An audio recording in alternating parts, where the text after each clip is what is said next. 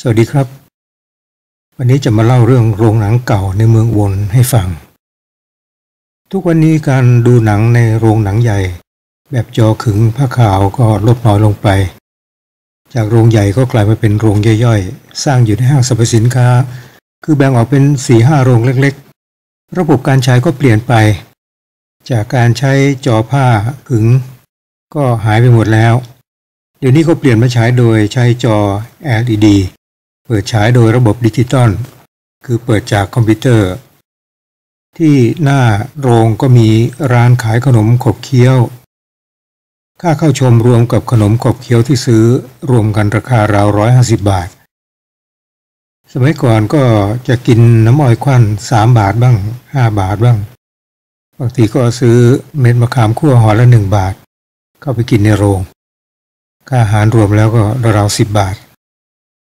หนังที่ใช้ในสมัยก่อนก็มีหนังกลางแปลง เริ่มด้วย หนังขาวดำ 16มิลลิเมตร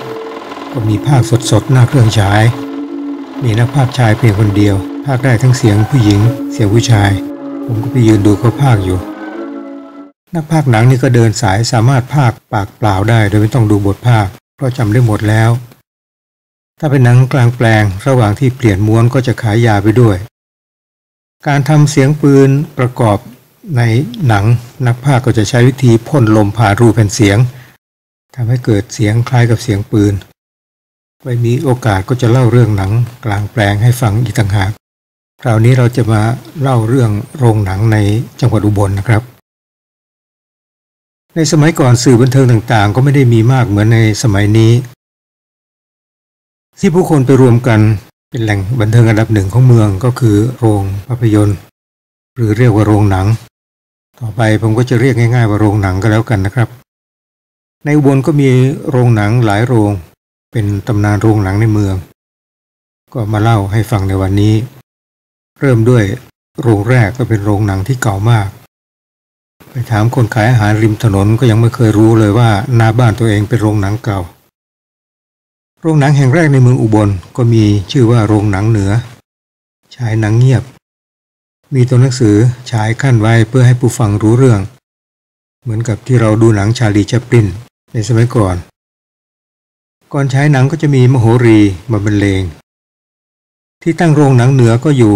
ใกล้กับตึกโบราณหลังนี้นะครับ ซึ่งเป็นอาคารของธนาคารกรุงศรีอยุธยา เคยมีกิจกรรมมาเปิด เพื่อต้องการอนุรักษ์ รักษาอาคารหลังนี้ไว้ ผมก็เคยมา วันที่เขามีการเปิด อันนี้ก็เกิดพร้อมๆ กับโครงหนังเหนือ หรืออาจจะเกิดก่อนก็ได้นะครับ ปัจจุบันนี้ก็อยู่หลังโรงแรมอุบลโฮเทลหรือที่เรียกว่าโรงแรม 9 ชั้น อยู่ที่ถนนอุบลกิจอำเภอเมืองอยู่ในเขตเทศบาล ก่อนที่จะสร้างตึกตรงนี้เมื่อก่อนก็เป็นโรงค้าไม้ ก่อนโรงค้าไม้ก็เป็นโรงหนังครับ สมัยที่เป็นโรงค้าไม้นี่เคยผ่านไปตรงนี้ยังจำได้ ก่อนที่จะมีการสร้างโรงแรมเก้าชั้นขึ้น โรงหนังเหนือนี่บางครั้งก็จัดรายการมวยด้วย โรงหนังต่อมาคือโรงหนังใต้ฟ้าคำว่าใต้นี่ต้องเขียนด้วยสระไอไม้มาลายนะครับ ถ้าเขียนใต้ด้วยไม้ม้วนถือว่าเขียนผิด โรงหนังใต้ฟ้าก็อยู่ตรงข้ามกับวัดกลาง หันหน้าไปทางทิศเหนือ ด้านหน้าโรงหนังก็จะเป็นถนนพรมราช ซึ่งอยู่ตรงแยกถนนราชวงศ์ ก่อนที่จะเป็นโรงหนังใต้ฟ้าโรงนี้ก็เป็นโรงลิเกโรงละครมาก่อน ต่อมาก็มีครอบครัว คุณยายหง แซลิม หรือปัจจุบันก็คือพีระพานุรักษ์ เดินทางมาจากอำเภอลำปลายมาศจังหวัดบุรีรัมย์ก็มาเช่าเปิดกิจการ เปิดใช้หนังมาตั้งแต่พศ 2501 เก็บค่าเข้าชมตอนนั้น 50 สตางค์โดยมีบริษัทหนังก็คือบริษัท Southeast Asia เป็นผู้หาภาพยนตร์มาฉาย หนังจีนที่นำมาฉายตอนนั้นที่ดังๆก็คือมังกรหยก อักลีเมริกัน รวมทั้งหนังอินเดียด้วยเช่นองคุลิมานสำหรับหนังเรื่ององคุลิมานนั้นก็มีรายได้มากที่สุด ฉายแต่ละรอบเก็บได้เป็นหมื่น ขณะที่ตั๋วชั้นหนึ่งตอนนั้นก็สามบาทห้าสิบหนังไทยเรื่องอื่นก็มีหลายเรื่องที่เข้ามาฉายที่โรงหนังใต้ฟ้า เช่น เรือนแพดอกแก้ว อวสานอินทรีแดง ซึ่งนำแสดงโดยมิจฉาบัญชาเพชรราชวราช ประจวบเลิกยามดีปริยารุ่งเรืองวนาแสงจันทิพย์เยาวเรศนิสากร ภาพยนตร์เรื่องอวสานอินทรีแดงนี่ก็ฉายที่กรุงเทพในเดือนธันวาคม 2506 จากนั้นก็ออกมาที่ต่างจังหวัด หนังเรื่องอื่นๆก็ได้แก่เรื่องใจเพชรจำเลยรัก ก้าวมังกร ในฝูงหง ช่อเพชรเพลิงทรนง เหยี่ยวดำ เอื้อมเดือน นันทวดีตากล้องเงินล้าน ตะวันยอแสง สายเลือดสายรักลำเนาไพร เจ็ดสมิง กงกรรม ร้อยป่า เป็นต้น บางครั้งก็จะมีนักร้องนักแสดงมาเปิดการแสดงที่โรงหนังใต้ฟ้า ดารานักแสดงที่เคยมาที่นี่มาร้องเพลงบ้างก็ก็ได้แก่สุรพลสมบัติเจริญใบพศเพชรสุพรรณเพลินพรมแดน เด่นดอกประดูเสน่ห์คมรชุน ซึ่งมาพร้อมกับคุณปริยารุ่งเรืองสำหรับเสน่ห์โกมรชุนนี่ก็เป็นนักพากย์ที่มีชื่อเสียงในกรุงเทพด้วย ที่โรงหนังใต้ฟ้านักพากที่มีชื่อก็ก็ได้แก่คุณเดือน และคุณพงศักดิ์จันทรุขา ซึ่งเป็นนักแต่งเพลงอีสานบ้านเฮาเนี่ยแหละครับ สุรศรีผาธรรม อาลัยสิทธิชัย ในการโฆษณาของโรงหนังก็จะมีรถแห่ ขณะที่แห่ไปแล้วก็ทิ้งใบปลิวไปด้วย เราก็วิ่งตาม ไปเก็บใบปลิวมาดูว่ามีใครแสดง มีรายละเอียดอย่างไรบ้าง นักพากย์ดังๆ ในสมัยนั้นก็ได้แก่โกนจนาต ดารพรนันทวัน มหาราช ที่ภาคคู่กันก็มีวรวิทย์ชูใจชิริพรเพนจันทร์โกนจนานี่ก็เป็นนักพากย์ที่เสียงทุ้มๆ ส่วนดารพรก็เป็นนักพากย์เสียงเล็กๆหน่อยนะครับ แต่ก็พากดีทั้งคู่ ส่วนใหญ่ก็จะพากเดียวครับ ขณะนั้นมีโรงหนังหลายโรงในอุบลก็ได้แก่โรงภาพยนตร์เฉลิมศิลป์โรงภาพยนตร์เฉลิมธานี โรงภาพยนตร์อุบลภาพยนตร์ สำหรับโรงภาพยนตร์อุบลภาพยนตร์นี่รูปโรงแรกก็ตั้งขึ้นที่ถนนยุทธภัณฑ์นะครับ เราเรียกว่าโรงหนังกลาง ก็เป็นต้นเพลิงที่ทำให้ถูกไฟไหม้ครั้งใหญ่ของอุบลเมื่อพศ2503 ก็ได้ทำคลิปไฟไหม้เมืองอุบลไปแล้วนะครับ แล้วก็ได้พูดถึงเรื่องนี้ด้วย ต่อมาโรงหนังอุบลภาพยนตร์ก็ไปสร้างใหม่ที่ใกล้วัดป่าน้อย หรือวัดมณีวนารามในปัจจุบัน หลังเกิดไฟไหม้ ผู้จัดการโรงภาพยนตร์อุบลก็มาขอร่วมหุ้นส่วนด้วยก็มีการปรับราคาค่าตัวใหม่ รายได้เท่าไหร่ก็แบ่งกันคนละครึ่ง ระหว่างโรงหนังใต้ฟ้า กับเจ้าของโรงหนังอุบลภาพยนตร์ที่ถูกไฟไหม้ไปแล้ว ต่อมาก็มีการปรับราคาเป็นชั้นที่ 1 12 บาท ก็มีอยู่ 80 ที่นั่ง ชั้นที่สองหกบาทก็มีร้อยที่นั่ง ชั้นที่สามราคาสามบาทห้าสิบก็มีสี่สิบที่นั่ง ที่นั่งในโรงหลังก็จะเป็นไม้ระแนง ทำเป็นที่นั่งมีพนักพิง จากหน้าจอไปด้านหลังก็จะไล่ระดับความสูงขึ้นไปเรื่อยๆ เพื่อไม่ให้บังคนข้างหน้า ชั้นหนึ่งก็จะอยู่หลังสุด ชั้นสามก็จะอยู่หน้าสุด ในโรงหนังก็จะเปิดพัดลมตัวใหญ่ๆ สมัยนั้นก็ไม่มีแอร์นักพากที่มาจากโรงหนังอุบลที่ถูกไฟไหม้ในคราวนั้นก็มีโกนชนาตนันทวัน ไว้มีโอกาสก็จะพูดถึงนักพากดังในเมืองอุบลอีกครั้งหนึ่ง ก่อนฉายหนังเกือบทุกโรงก็จะเปิดเพลงมาร์ซีเราก็แสดงว่าหนังเริ่มฉายแล้ว ลองฟังเพลงมาร์ดูนะครับ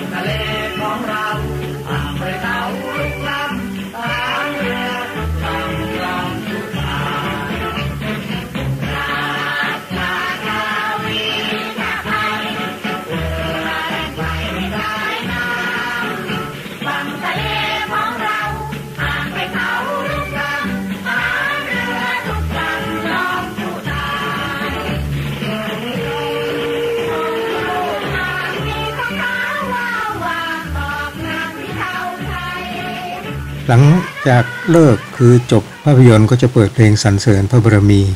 ทุกคนก็จะยืนเคารพนะครับ หลังจากนั้นจบแล้วก็แยกย้ายกันกลับบ้าน ต่อมาคุณหญิงตุลโกสลวิทย์ก็ได้สร้างโรงหนังสิริสินอยู่ที่หน้าวิทยาลัยครูบนหุ้นส่วนโรงภาพยนตร์อุบลก็ขอแยกตัวออกไปสำหรับโรงภาพยนตร์ใต้ฟ้าก็เปิดดำเนินการมาถึงพศ 2511 ก็เลิกกิจการ ก็มีการรื้อแล้วก็สร้างตึกใหม่ ด้านหน้าของโรงภาพยนตร์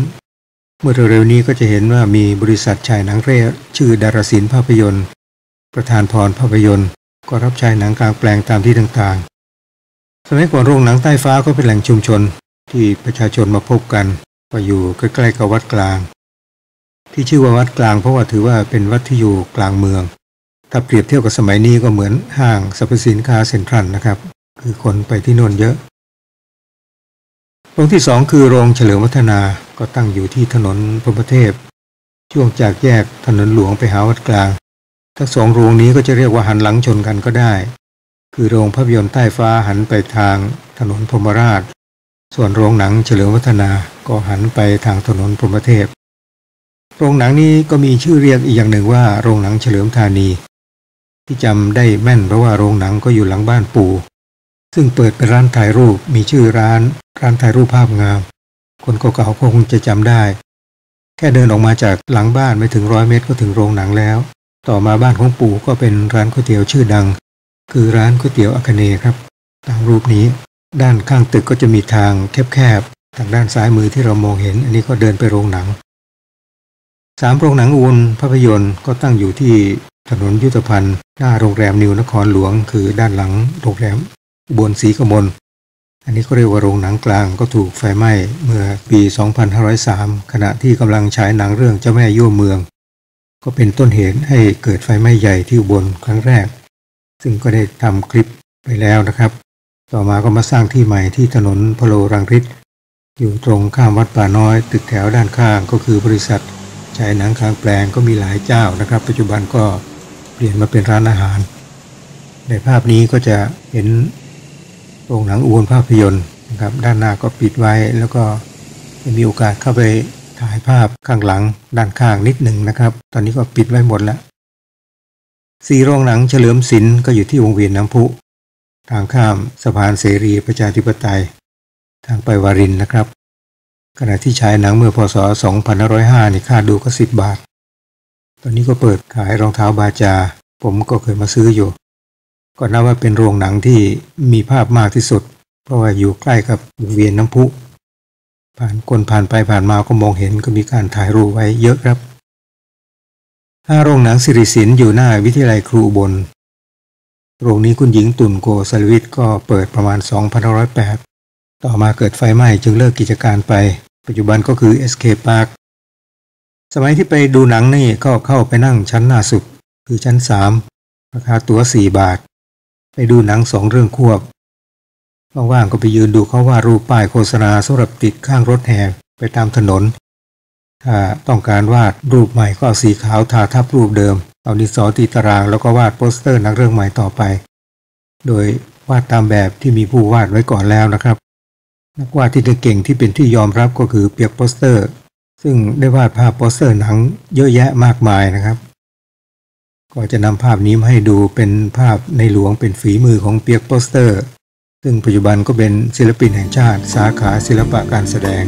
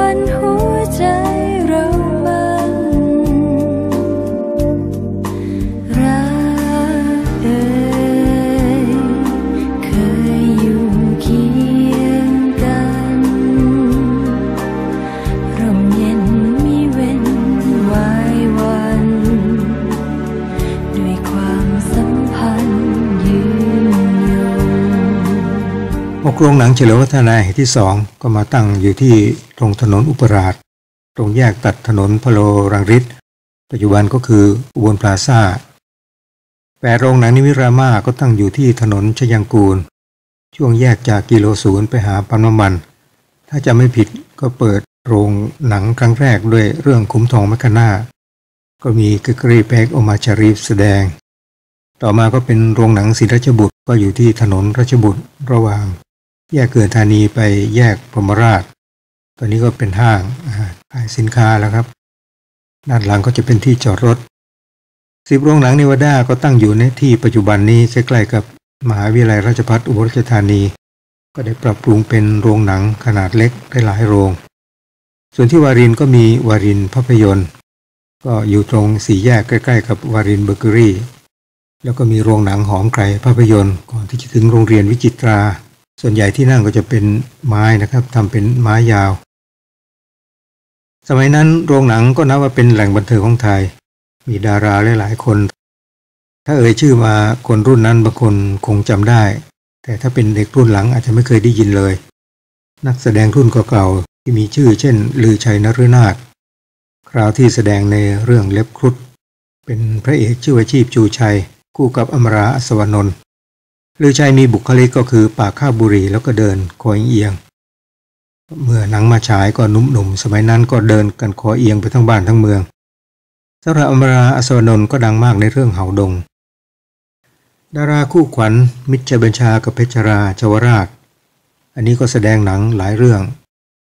ถ้าไปดูหนังนี่ไม่ต้องดูชื่อหนังก็ได้ ขอให้รู้ว่ามิตรเพชราแสดงนี่เข้าไปดูได้เลยครับ สมบัติเมธนีก็คู่กับอรัญญานามวง นอกนั้นก็มีชนะสีวบนอดุลดุลยรัตประจวบเลิกยามดี